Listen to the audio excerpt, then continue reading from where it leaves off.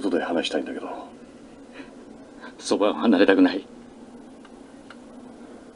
ロドニーの解剖をさせてもらえないかな。なんで？役に立つからだ。お前が針を刺した。あれが出血の原因なのか？違うよ。肝臓の傷が原因で血が凝固しなくなったんだ。じゃあなんで解剖したいんだ？それは研究のためだ。役に立つんだ。よだから息子に興味を持ってたのか。いやいやそうじゃない。助けようとベストを尽くした。俺の血を取ったのは息子を助けるためか。あれは違うけど。状態を調べたいんです。調べてなんか欲しくない。あのお気持ちは。息子を見ろ。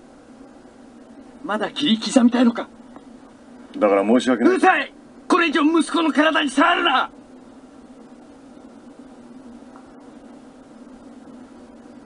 そうか。分かったなもう言わない。